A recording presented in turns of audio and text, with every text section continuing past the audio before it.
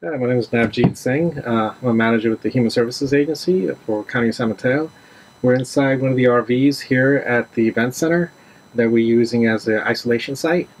We do get referrals from health uh, for the public or for guests who cannot self-isolate on their own and for folks who are pending test results. They've been tested and they need a place to self-isolate.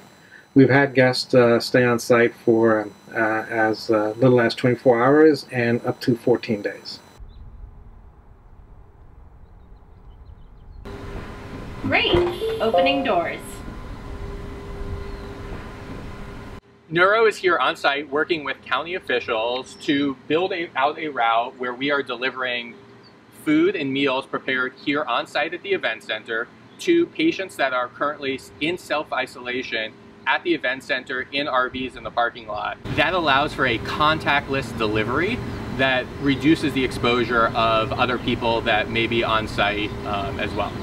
We receive a call uh, for an individual or a family who might be in need of a place to stay while they are awaiting the results of their COVID-19 test or they might be in an unsafe living situation um, and they have no other place where they could stay right now while they're waiting to hear for their results. Um, so we offer them that place to stay. Uh, we prepare, we have uh, 19 RVs here uh, we prepare the RV for them to stay. We give them bedding and clothing and towels, and we make sure the RV is ready to go.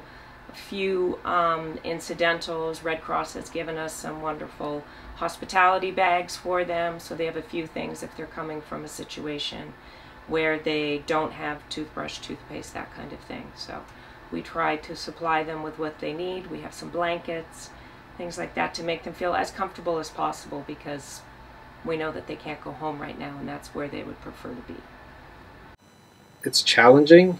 It's uh, at times scary to see what's going on, but uh, I'm really glad that I'm working for County of San Mateo where we're providing the services to our uh, to the residents of San Mateo uh, in any and every way we can with uh, collaboration with the health department, human services, providing shelter and care, uh, you know, we're, we're stepping up and a lot of staff are stepping up from the County of San Mateo.